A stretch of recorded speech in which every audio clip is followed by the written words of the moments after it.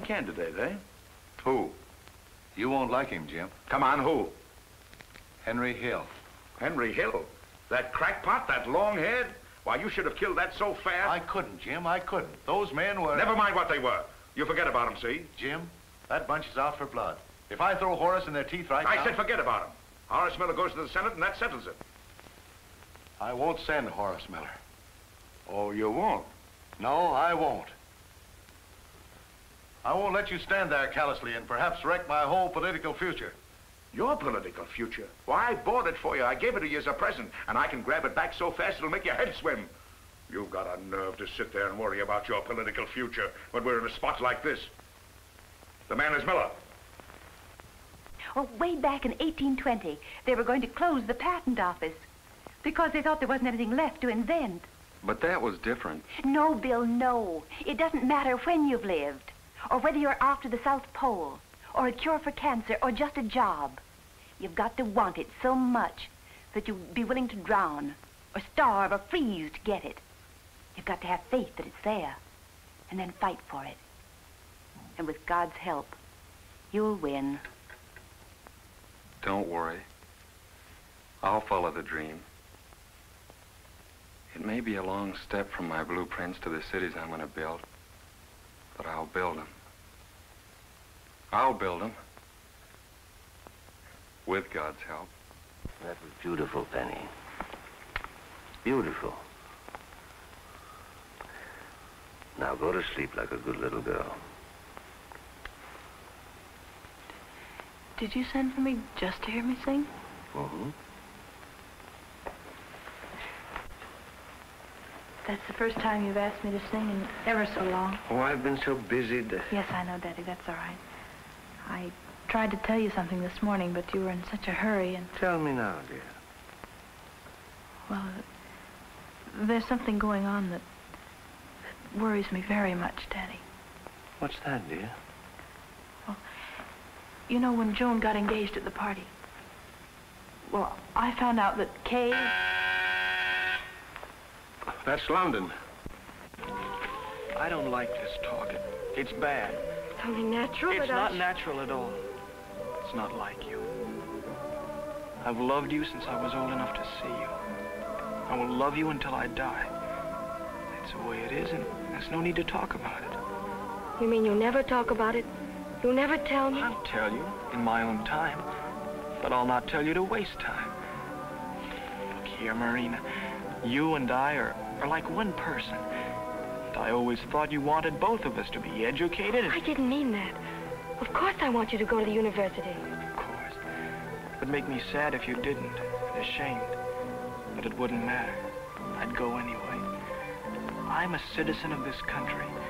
I intend to go forward with it and, and to give it all I have.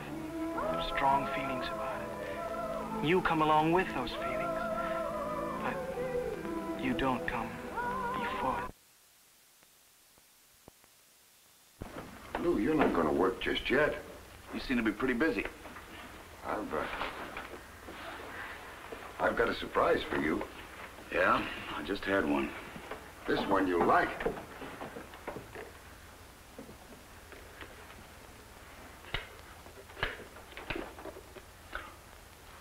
Oh, gee, Grant. Cast your eyes on that silver plate. Yeah. Lou Marsh.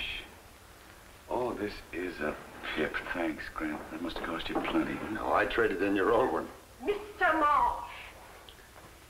That old wasp.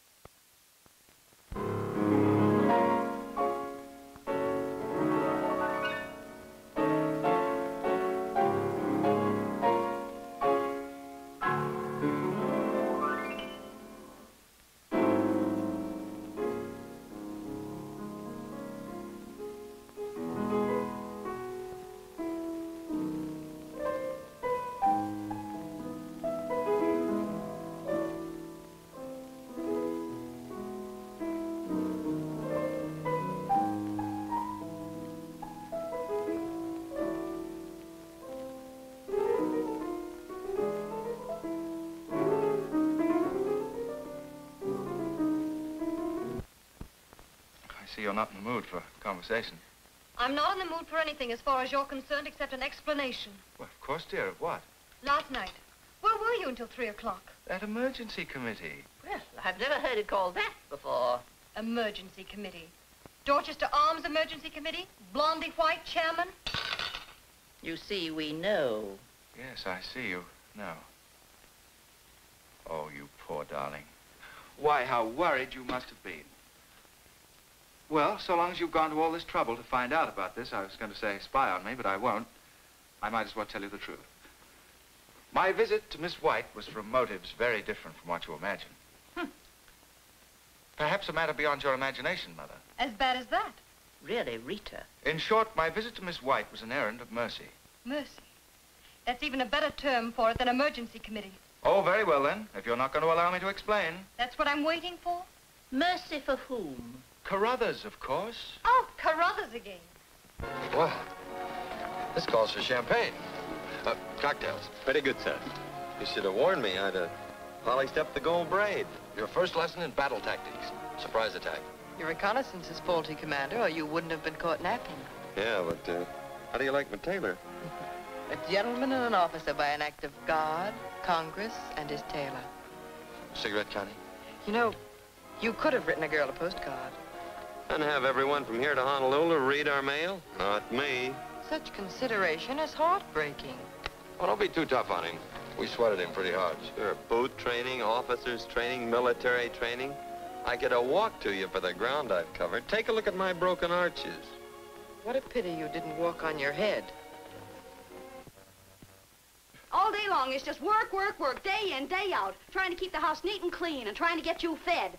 And then what happens the minute you hit the front door, you start yelling something about the buttons on my shirt. I haven't just hit the front door. I've been home for two hours. I've eaten dinner, and I helped you with the dishes. I started to read an article, and you started to rip open my hand. And just because I happened to say something about... happened to. You've been leading up to it all evening. As if I didn't try to keep things going. Well, all right. Go on, get it off your chest. Go on, think up some more things. You want me to? Yes. All right, I will. My suit's at the cleaners, and this one looks like a rag. And that's because you didn't send the other suit to the cleaners when you were supposed to. And my socks are always in the top drawer instead of the middle drawer where I keep begging you to put them. And my nightshirt's never on the same hook at night as where I put it in the morning. And somebody's been using my razor. And you can't tell me it was a cat.